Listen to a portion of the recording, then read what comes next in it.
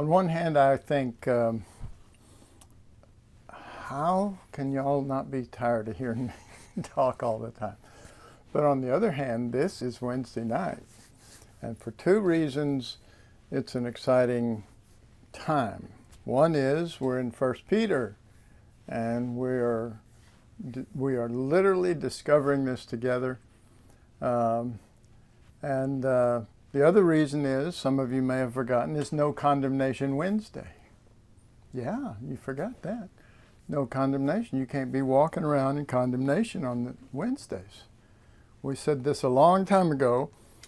So you're supposed to be free and happy on Wednesdays and with the Lord, of course. Alana says, yay. Alana remembers. yes. okay.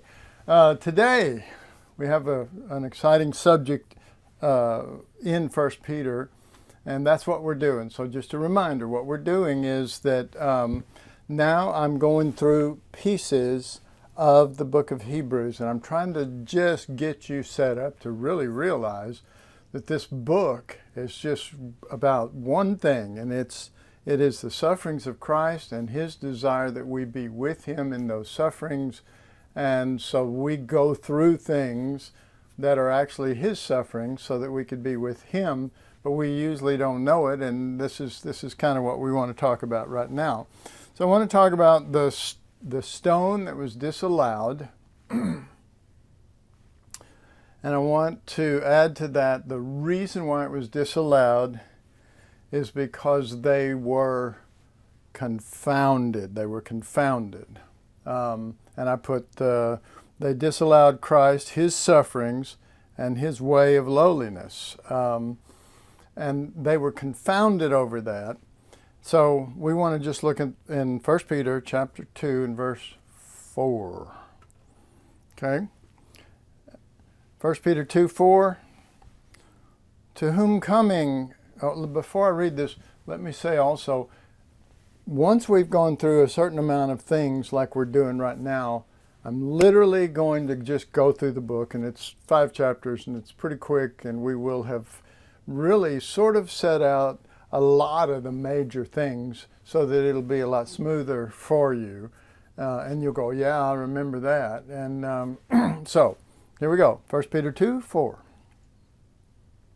To whom coming as, a, as unto a living stone, disallowed indeed of men, but chosen of God and precious. Okay, so the first thing to realize is that this verse is about Christ crucified. Okay? It's about Him going through the sufferings. It's about Him being uh, rejected of men. It's about Him being uh, uh, evil spoken to and railed upon by evildoers. Um, he is the living stone that was disallowed. Well, that took place in his trial and in his crucifixion. And um, so it, it's giving two main things. Um, uh, that well, three really, if you count the living stone thing. This is not a dead stone, and and uh, it's kind of important that we understand that that uh, uh, uh, it's it's a living stone that gives itself. It's a living stone that gives itself. Okay, and that's what makes it alive unto God through Jesus Christ for us too. All right. So, uh, but the the other things is, are that um, it is disallowed of men, but it is chosen of God and precious. All right. So. we're, we're, we know from what we've studied so far in First Peter that this whole thing of the sufferings of Christ and being a partaker of them and being with Christ in them, um, uh, like Peter didn't do when they when Jesus did his ministry in the earth, is a precious thing to the Lord, and um, being of that spirit, not just Jesus being of it, but us being of that spirit, is precious to the Lord, and that's a that's probably one of the words that we'll get to uh, in this little phase two, is what I've been calling it. Uh, we'll get to it over in phase three, uh, which has nothing to do, again, with the coronavirus. This has to do with what we're studying here. um, so it's talking about this living stone that is disallowed of men. It is rejected. It is Christ. It is Him being um, uh, uh, railed upon. It is Him being uh, having false witnesses come against Him. It is it is Him with in all of that that we've discussed so far, and so it is addressing that as being disallowed and of men and and if we stick with the the definitions of that then it would be disallowed indeed of evildoers. Some of you know that. I think alana knows that and as knows it well uh, as we as we go through this. But at the same time and here's the deal and that's what we want to really sort of address at the same time that he's being disallowed indeed of men because of the spirit that he is in, because of the nature he is manifesting, he is chosen of God and precious. Okay? Now, he's not chosen of God. This isn't talking about uh, post crucifixion, where he's chosen of God and is seated on the throne above all names that can be named. This is talking about he has been chosen of God to go through this. Number one, to demonstrate God's nature. Number two, to demonstrate that nature to us. Number three, of course, the result of, of salvation and all that that entails. Um, but he's chosen of God. Okay, so where do we where do we get that from instead of chosen over here to sit on the throne? Well, yeah, but he's chosen to sit on the throne because of what he suffered and went through in the spirit in which he went through it. Well, where we get that chosen of God thing for the cross instead of for the for the throne is that um, the you know the Passover. Everybody, every family on the Passover had to go out and they had to choose the right lamb, and it was always the father that chose the lamb because the Father, the our heavenly Father, chose this lamb. Okay, He's chosen of God and precious to him. All right. And I could see that Passover, especially the first one, but maybe all of them if they really understood what was going on. Uh, in that first one, choosing this lamb and going, You are precious to us because, you know, we should have died and you you have died that we might live. All right. So, um, so First Peter uh, 2 23, let's look at that. Who, when he was reviled, reviled not again. When he suffered, he threatened not, but committed himself to him that judgeth righteously. All right, so this little phrase, committing himself to him that judges righteously, is, if nothing else, and it is many other things, but if nothing else, it is stating that Jesus is not, was not passive going through this, and that we are not to be passive, that that would be, in a certain sense, the worst thing. He's not looking for passive people. He's not looking for people to, to just, you know, because I mean, I'll be honest with you, passivity can lead more to demon possession than really being with the Lord.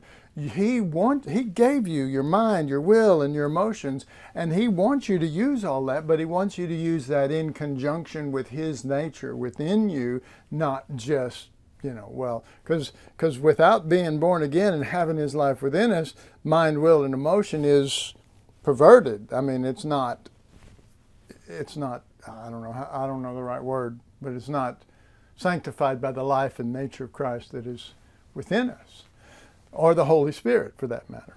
All right. And so our decisions, the, the, our, our will making decisions, are made by a will that is selfish, self centered, that, that thinks of itself first and maybe puts, runs down, runs over someone else or something like that. Same thing with our thinking and all of that. All right. So, um, let me. Okay, so uh, he he was so he wasn't passive. He was in someone's hands, and it was someone's hands that he trusted. You can be in someone's hands and not know if they're gonna. You know, it's like Pontius Pilate, the Pharisees, and everybody else, the Romans, and then have you know, let's say Pontius Pilate's wife and say, well, she, she might be able to influence this. I, there's hope. You know, maybe if I'm in her hands, there's hope. Well, this is saying that, that we're in, uh, he was in someone's hands that he trusted. He trusted them more than he trusted Pontius Pilate, or more than he trusted his wife, or more than anything else. And, uh, and it was a trust that brought a certain amount of peace and assurance. Okay? So, um, but then you look at the situation, he was in the hands of unjust men, externally, physically, in, in the outward situation. He was in the hands of unjust men. But in truth, he was in somewhere above that. He was in the hands of the Father. And where do we get that from? Jesus on the cross says, Father. He doesn't say anymore, My God, my God, why hast thou forsaken me? My God. He says, Father. Now he comes back to the Father and he says, Into thy hands I commend my spirit. Because now he's, he's, he's going into death. He's entering into the death. And he's entering in into someone else's hands. All right. So, uh, but committed himself to him that judgeth righteously. So, this is hard to describe for people that don't really, mm, I don't know, especially haven't been through this enough to to have the assurance that, you know, that you're glorifying the Father by the Son by having the right spirit. See, it's not um, I mean, to us, it would be all about, if we don't understand that, it's all about getting back at them or all about, you know, our less breath being, you know, ah, you know, railing on them or something, you know, making them feel bad or whatever, you know, something that is the exact opposite of what First Peter's all about. What's the exact opposite of what the Lamb of God is all about, Jesus is all about, and what the Father wants from us. Okay? So, Father, into your hands I commend my spirit. Now, just a reminder, we know that Jesus, um, in, in John 12, he said, Now is my soul troubled. But then he says, But what shall I say then? Okay, so you watch out what you're going to say. you can have a troubled soul. See, the soul is an issue. We know that. We know it because one of the bigger subjects we dealt with early on was the salvation of the soul.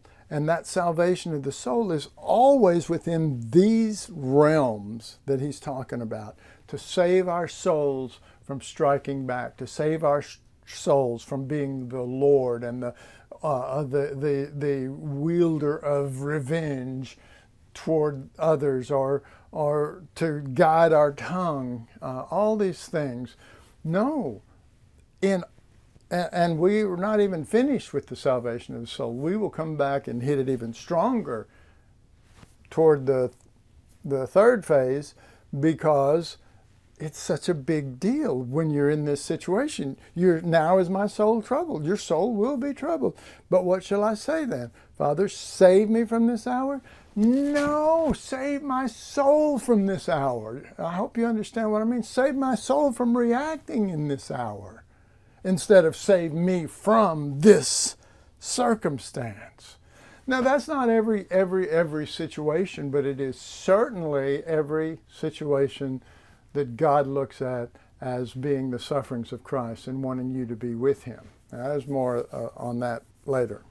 All right. So now let's look in 1 Peter 4:14. 1 Peter 4:14 If ye be reproached for the name of Christ, happy are you, for the spirit of glory and of God resteth upon thee, or upon you. On their part he is evil spoken of, but on your part he is glorified. So, how can you be happy when you're evil spoken of? Okay, well, that's a, there you go. That's a good question. How can you be happy? Because this, that's what it says. If you be reproached, happy are you.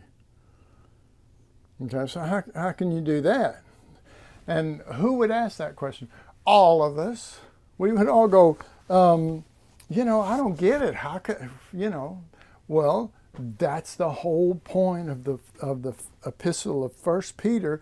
He's writing this to help us so that we don't deny the Lord when we should be with the Lord in his suffering. So so that we're that we understand where he's at, not trying to get him to understand where we're at. We are discerning as um, in the situation when they went uh, to the Garden of Gethsemane. And they went there to pray, but they didn't go there to pray. Jesus went there to pray because Jesus knew that in that garden they were to come for him and that was they were going to take him away and you know he wouldn't be with them in that way anymore.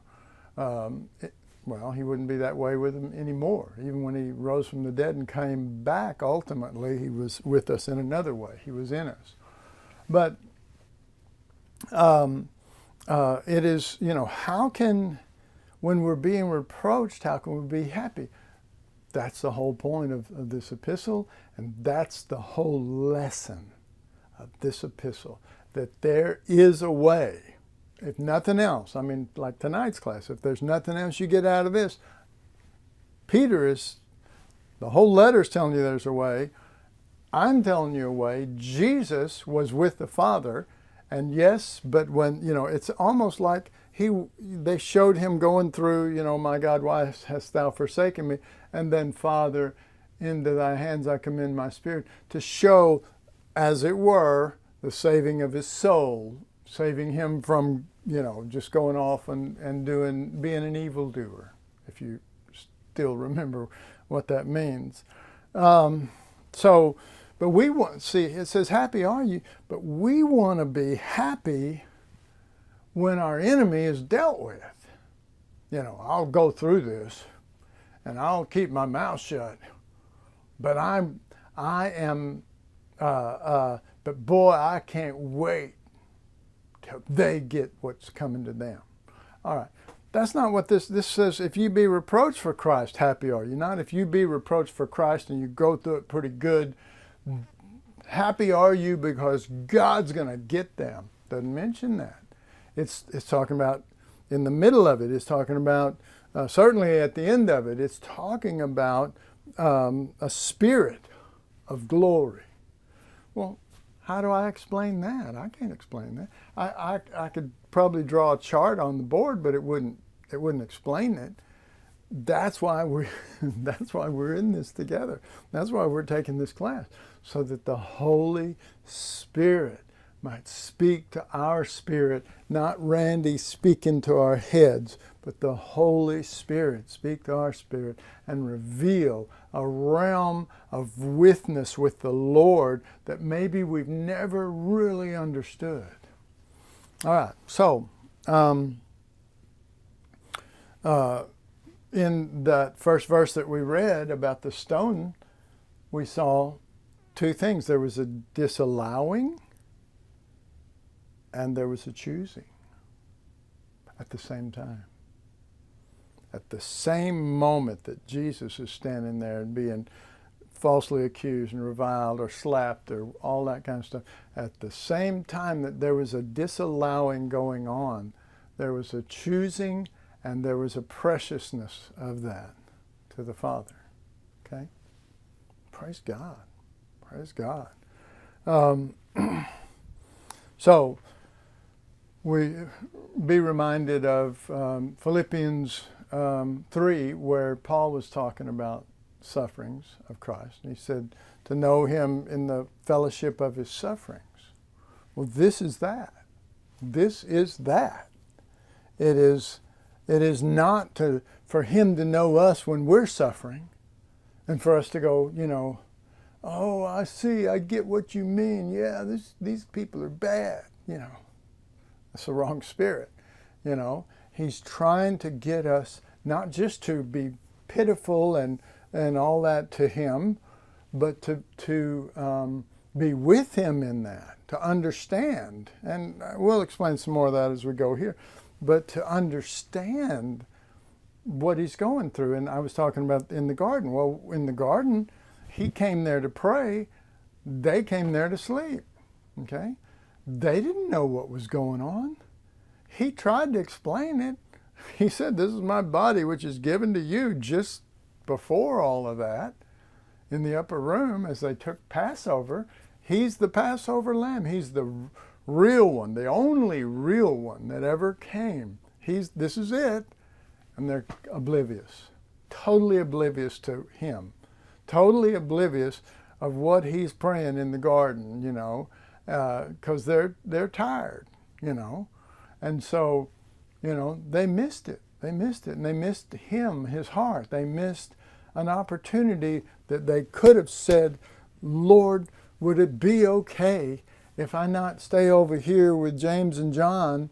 Uh, that I come over here and I get on my face beside you, on your face, and I weep with you and I throw my arm around you, if, if so be it possible to do, and to, um, to be with you in your sufferings. Well, Peter had a lot of those opportunities, and he missed them. And he, missed, he missed the Lord. And, um, you know, I mean, a lot of people talk about Peter. I've, I've heard this since I was in Bible school. Um, the time that um, uh, a bunch of us were Bible school students were standing around and and they started saying, well, I want to be like Paul and I want to be like so and so, David, and I want to be like this and that, you know. And uh, one of them said, well, I want to be like Peter. And, you know, the, the Paul and David people went, how did you undo it? Well, because I identify with Peter because he messes up really bad. That's really not a good testimony, folks, that you identify with Peter. He's sitting here writing a whole book going, I missed it horribly. I really missed it, you know. Um, and the other guys weren't too smart either because they're trying to be this or that. Well, you know, I want to be identified in Christ. Not, I don't want to be Him. I don't want to be like Him. I want it to be the one, the very one. And if it's the very one, then when, when He, as it were, He is taken through these sufferings, though He is in me, I can be with him in that instead of freaking out. Okay, so um, uh, there's a disallowing and there is a choosing, and you you're gonna in that scenario you're gonna go through both. Hopefully, if the Lord, uh, you know, if if if your soul becomes saved, if you will, you'll be chosen because that will be his nature in you, not you. And you will have been with him. You will have been with him. So much so that you will, will let him, not your soul, guide your tongue. You'll let the Lamb who opened not his mouth. You, instead of your soul guiding your thoughts during that, um, Jesus is you know, what shall I say? This is why I came. I'm supposed to be here. They're not murdering me. I'm giving myself sacrificially. See? All right. So, um, so why would you not be with him then in this? Well, like Peter, you wouldn't be with him because you would see that circumstance as evil. That's the truth. That's why you wouldn't be with the Lord in the fellowship of his sufferings. That's why you wouldn't, uh, and that was why Peter didn't. Okay? I'll give you a few examples here. Because, you know, you, you what you're doing is, you know, this all this bad and all these, you know, these Romans that, that are, you know, coming and the and the the chief priest and all this is gathering in a big storm. Well, it's not really a big storm. It's about to be the most wonderful moment on the planet when Christ is given as a sacrifice, not just for the sins of the world, but to become the life of all those who receive him. So it's all in how you see it. God says chosen and precious. You know, Peter says, This is horrible. This is bad news. And the rest of the disciples. So, uh, like Peter, you see it as evil. So let me read Matthew 16 again to you. Matthew 16, 20 through 26. This is Jesus talking. Then, then charged he, Jesus, his disciples, that they should tell no man that he was Jesus the Christ. From that time forth began Jesus to show unto his disciples how that he must go. I must go. He's saying, I must go to Jerusalem and suffer many things of the elders and chief priests and scribes and be killed and be raised again the third day, which we know they never understood that. Then Peter took him. Then Peter took him. Then Peter, who sees all of that as evil, and Jesus sees it as I'm a chosen Passover lamb to the glory of the Father and to the glory of the nations, if you will. Took him and began to rebuke him. Okay, so Peter has no clue. He is in his own mind, which is the same mind that we all have. It is the same way of thinking. Well, this ain't good. This is bad. Good is if you know, God rained down, you know, 100 pound hailstones on all of these people right here, except left maybe a few, so that when it was done, they'd go, man, you really are, you know, of God. Well, he didn't want to be known as being of God based on miracles. I know that's hard for everyone to believe. I didn't say he he didn't like miracles or what. He doesn't want to be known as that. He he wants to be known as the Lamb of God, even on the throne, the Lamb on the throne, the slaughtered Lamb, specifically the slaughtered Lamb. And so, but we're trying to make him the miracle worker. Well, he did all those miracles, and not one thing ultimately changed eternally. The people who got sick got healed, they would die again. You know, the people that, you know, all of, the, all of that was temporary until the cross. And then, through death, he defeated him that had the power of death. Through, through, through the death of the cross, he defeated the old nature. Through the death of the cross, he dealt with sins. Through the death of the cross, all of those things came through the Lamb giving himself in this way. And had he not done it, we would still be in a mess down here. Okay, so then, uh, then Peter took him and began to rebuke him, saying, Be it far from thee, Lord. Be it far from thee. No, this can't be the will of God. You, you know, this is a bad thing. Don't you understand that? This is evil. He saw it as evil. And uh, this shall not be unto thee. But Jesus turned and said unto him, Peter, get thee behind me, Satan. Thou art an offense unto me. And we've stressed that before, but need to every time probably. You are offending me with your mind and your viewpoints and your way of dealing with things and everything. You don't understand. You, you savor you savor it. You don't just think that way, you savor the ways of man. And you but you don't savor the things that be of God, which what things is, is Jesus talking about here? He's talking about going to the cross. He's talking about um, uh, the sufferings of Christ. Because he didn't just say, well, they're going to kill me. He said, they're going I'm going to suffer many things. He's talking about the sufferings of Christ. um, Thou art an offense unto me, for thou savorest not the things that be of God, but those that be of men. Then said Jesus unto his disciples, If any man will come after me, let him deny himself. See, this isn't this isn't just a discipleship uh, training course he just all of a sudden started. If you guys want to follow me, you have to deny yourself. That's the that's the context we put it in. Okay, I'll leave school and I'll come follow you. Okay, I will do this and I'll come follow you. No, this is a spirit and an attitude. He's not. Peter isn't saying, uh, "I'm not going to follow you if it gets rough." Peter is saying, "I'm looking out for you."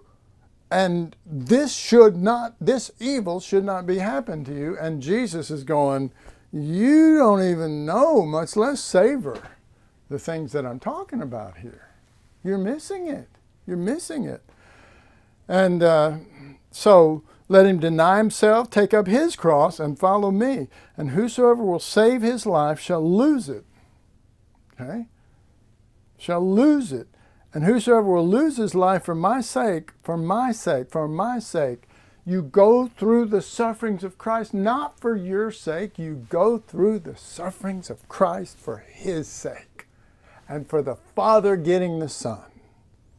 That's why you do it. That's why you would even risk doing it. That's why you would uh, ever come to a place where you would say, okay, I'm in a place where I would want to do that.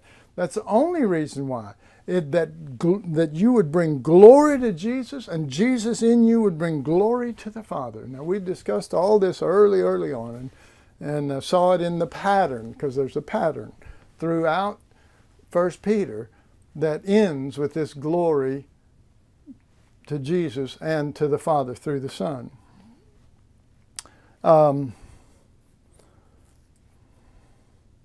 for what is a what is a man profited if he shall gain the whole world and lose what? His soul. The salvation of the soul. His soul has never been saved. Yeah, maybe he's born again and everything, but he's gonna he's gonna gain the whole world. Is that really what we want? But he's gonna lose his soul. In other words, his soul will not be saved from his viewpoint, from his uh, reactions. He'll just be like everyone else in that sense. He'll be an evildoer, even though he's born again and bound for glory, bound for heaven, if you will. Um, or what shall a man give ex- in exchange for his soul? All right. Okay, so um, let me give you one more scripture like that. Let me, well, let me look to see where I'm at right here.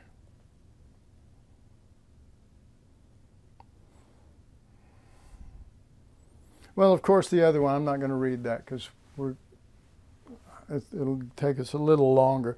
But you know it. It's in Matthew 26, 65 through 75, and it's basically when, when Peter denied the Lord, you know. And so Jesus is being accused Jesus is being taken away, and they say, Are you with him? And he said, No, I don't know him. Well, I'm not going to be with him in his sufferings. This is bad. This is evil. And this, I'm trying to make this point that why would someone not want to be with the Lord in his sufferings? Because try as we will, try to not do this, we will conclude that it is evil unless God opens our eyes the way he did to Peter. And again, not I wish that me just saying all this would make the difference, but trust me, it, it won't. You have to hear it and pray under your breath and say, Lord, if this is of you, how about that prayer? If this is of you, then work it in me. All right. But then later on, Peter did understand it. He did. He got it. Okay. So if you if you are one of those who said, well, you know, I really identify with Peter. Well, good. Identify all the way with Peter, not just in what he did wrong for God's sake, but that what he did right by writing First Peter. Okay, First Peter one, verse six and seven. This is this is him when he finally gets it. Wherein ye greatly rejoice, though now for a season if need be, you are in heaviness through manifold temptations, meaning you've entered into this, the, the, the, the tunnel of the sufferings of Christ, that the trial of your faith, being much more precious, there's that word precious, than gold that perisheth. Okay, that perishes. That is to it's to pass away, but this won't perish in God's heart. If I can say it like this, in His book of remembrance, this will not pass away. Uh, then gold, though it be tried with fire, might be found unto praise and honor and glory at the appearing of Jesus Christ. So here it is. You're going through the trial. Um, you are. Um, it's there's. It's being tried with fire, but that there's this hope that you might be found unto praise and honor and glory at the appearing when Christ appears and the salvation of your soul takes place and you are one with Him in mind and heart and you go through it without having to rail, revenge, or ricochet.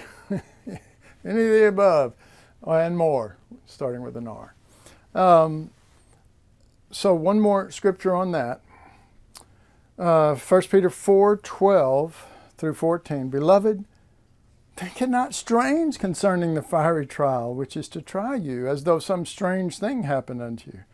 But rejoice inasmuch as ye are partakers of Christ's sufferings, that when his glory shall be revealed, when, it, when he comes forth in you, when, when the saving of your soul takes place, um, uh, ye may be glad with exceeding joy. And if ye be reproached for the name of Christ, happy are you, for the Spirit of glory and of God resteth upon you. On their part he is evil spoken of, but on your part he is glorified. Okay, so you have um, you have disallowed, and you have um, uh, glorified, as it were. You have um, God's choosing.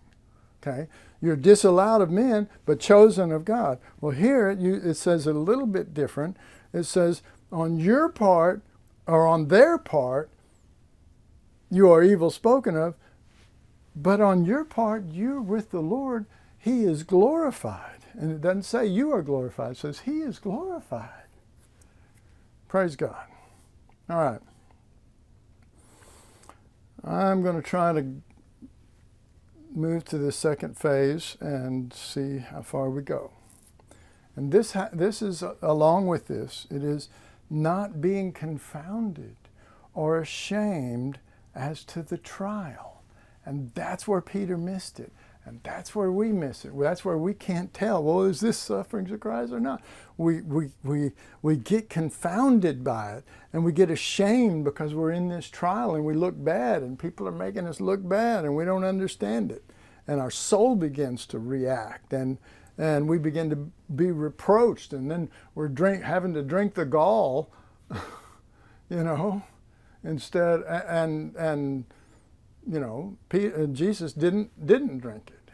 They put it up to his mouth and he, he wouldn't drink it. I'm not going to drink the gall and the bitterness and all that. all right. So let's talk about not being confounded or ashamed as to the trial. 1 Peter 2 6. Wherefore also it is contained in the Scripture Behold, I lay in Zion a chief cornerstone. There's that rock, that stone elect, meaning chosen, precious. There it is again. And he that believeth on him shall not be confounded. Okay? All right, but let me, let me just give you a clue. We haven't dealt with it yet. When we get into the believing in First Peter, you're going to find that what it is that they that that he's always talking about is believing in relationship to this spirit and this situation that you can be with the Lamb, that you can be with the crucified, and you can be with Him in a right spirit. And you believe that and you enter it with faith, and therefore it's the trial of your faith. Okay? But we'll see it later. uh, he that believeth shall not be confounded. Okay? This is Peter quoting this. Now, let's go to Psalm 69, verse 6. Because remember, I said that Peter got a whole lot of his stuff from the Psalms. Psalm 69, verse 6. Let not them that, that wait on thee, O Lord God of hosts, be ashamed for my sake. Let not those that seek thee be confounded for my sake, O God of Israel. Okay? There's that shame. There's that confounding. There's that there's that getting into it and not having a clue that this is precious to the Lord. It's like being one of the disciples that keeps sleeping, except except it's worse because it'd be like it'd be like the disciples while Jesus is over there in agony and, and sweating great drops of blood, it would be like them sitting over there talking about going, Well, this is wrong, this can't be right, and these those people are wrong and all this that would be worse. Well that's that's what we tend to do. We're worse than the disciples. He doesn't have to wake us up. We're awake and spouting. All right. So, um, uh, so let's go to the next verse. Because for thy sake, for thy sake I have, have borne reproach. Shame hath covered my face. But I'm doing it for your sake, that your spirit can come forth, that the Father can get the, that spirit out of me, which is you. Okay, still in uh, Psalm 69, verse 18. Draw nigh unto my soul and redeem it.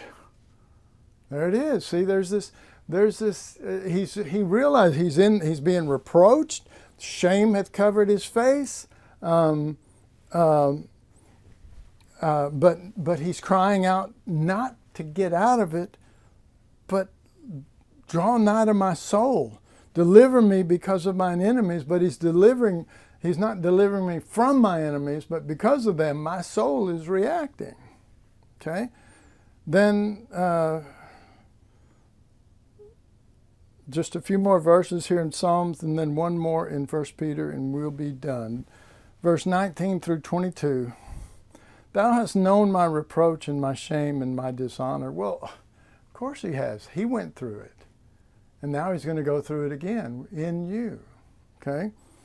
Mine adversaries are all before me. Reproach hath broken my heart, and I am full of heaviness. And I looked for some to take pity, but there was none. See, this is before your soul is saved. And, and that's what he said. Uh, just the verse in front of it, verse 18, said that. Redeem my soul. Here's my, what my soul thinks.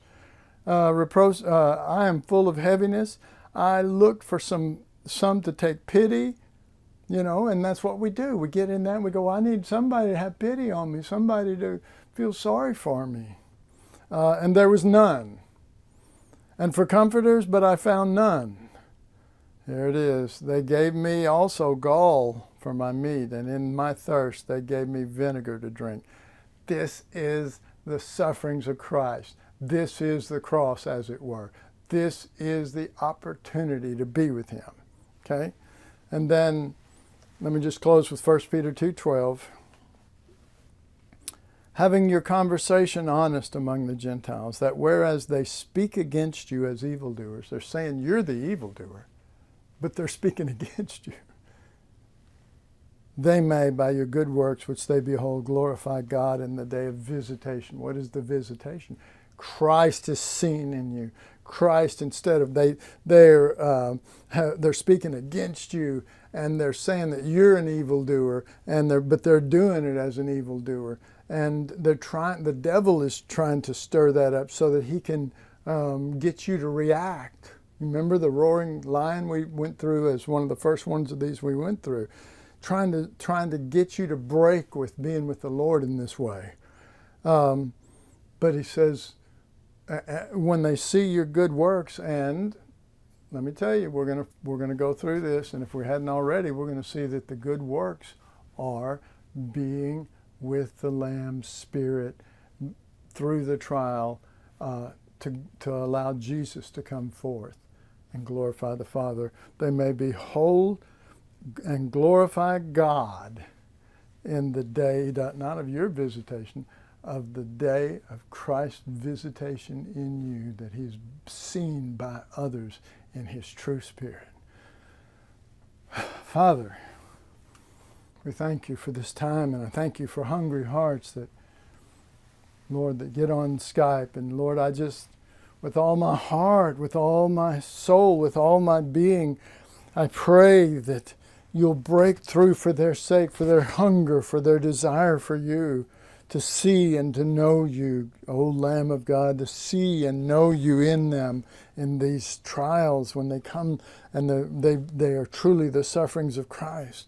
Father, that they may um, not do what Peter did before, but they may take heed to a man who deeply failed, but found the way, the life, the spirit that you wanted him to live with Christ in it, and then became one of the main purveyors of that to the people of God. Father, bless our people here. Bless, blessed are the hungry. Feed them. Father, bless the blessed are they that mourn. Bless them with this spirit. Father, minister to them. Father, I just rebuke the enemy that would try to steal the word from them. Satan, I rebuke you and command you to flee. And Father, may your spirit be able to come in like a flood and rise, rise up in them by Jesus Christ, the Lamb of God, and make it, make it spirit and life within them. Father, I thank you. I thank you for them. I thank you for their hearts. I thank you that you would allow me to share such precious things from your heart to lay a table for them in the presence of their enemies. Thank you, Father. In Jesus' name. Amen. Love you guys so much. More than I can say. I don't just study the Word for the fun of studying and I do it for you and that He might be glorified. And I spend that time I think about you. I think about your desire. So bless you. Bless you. Amen.